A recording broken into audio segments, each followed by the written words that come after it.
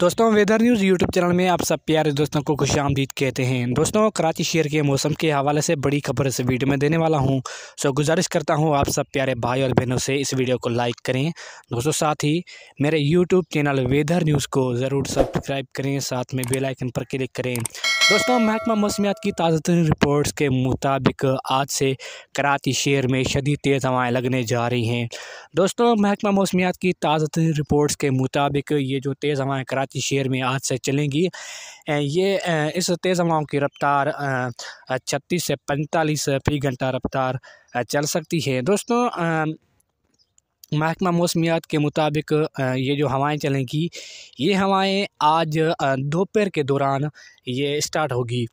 दोस्तों महकमा मौसमियात की एक और नई रिपोर्ट्स सामने आ चुकी है। दोस्तों महकमा मौसमियात की एक और नई रिपोर्ट्स के मुताबिक ये जो, जो कराची का साहिल कराची के साहिल के इलाके हैं इनमें ख़तरात बन सकते हैं। क्योंकि दोस्तों जब शदीद तेज़ हवाएँ चलेंगी तो जो समुद्र की जो लहरें होती हैं उनमें इजाफ़ा हो सकता है। और जो करा, कराची के जो साहिल वाले इलाके हैं बलूचिस्तान के साहिल वाले इलाके हैं इनको ख़तरा बन सकता है। तो दोस्तों सो गुजारिश करते हैं आप सब प्यारे भाई और बहनों से इन तेज़ के दौरान अपना ज़रूर एहतियात करें। शुक्रिया थैंक यू सो मच।